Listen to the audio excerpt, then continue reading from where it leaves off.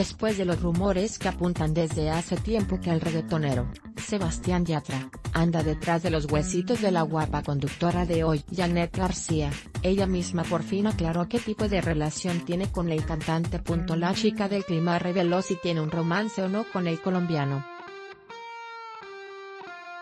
Luego de que en varios medios aseguraban que Janet y Sebastián, habían quedado flechados durante una visita del artista al programa matutino apóstrofe apóstrofe hoy apóstrofe apóstrofe durante la sección La Nube, Mauricio Mancera dijo que Yatra había revelado a un medio de circulación nacional, que Janet es una bella mujer, que se sigue en Instagram,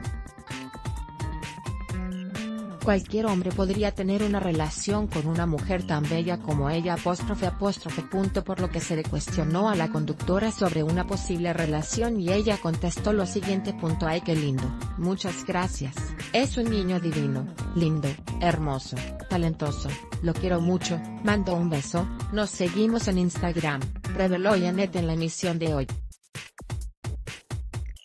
Más noticias en MSN las mejores fotos de Janet García, la chica del clima, Galería de Sobovis.